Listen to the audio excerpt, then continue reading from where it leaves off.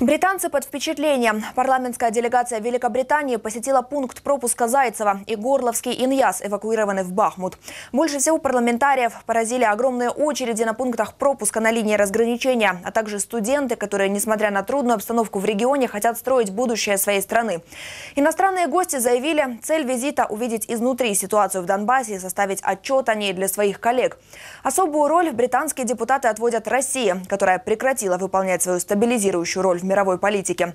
Глава делегации также отметил, что отношения Лондона и Москвы стали напряженными еще до начала вооруженной агрессии России против Украины. uh,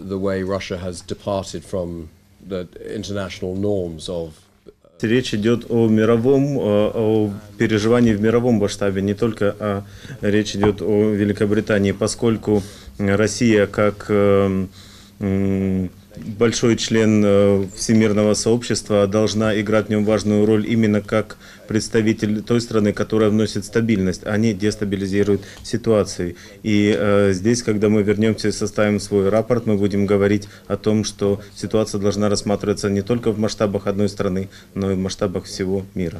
Нашою ціллю допомоги в організації цього візиту є допомога у формуванні позиції британського парламенту щодо продовження санкцій і щодо боротьби проти агресії Росії е, по відношенню до України. Це є стратегічна мета наша, і по суті, е, допомога цього візиту тут на місці можна пересвідчитися, які зруйнування були зроблені, наскільки чи були задіяні там російські гроші, чи були задіяні російські найманці, е, які докази можна цього побачити, що думають про це люди, наскільки вони можуть свідчити про ці І із е, делегації Великобританії, парламенту Великобританії, там все-таки один, одна е, Ковзинський е, задавав питання такі, відчувається, що він підтверджений російській пропаганді. Всі інші чітко усвідомлюють, з ким ми маємо справу і чому ми маємо таку справу.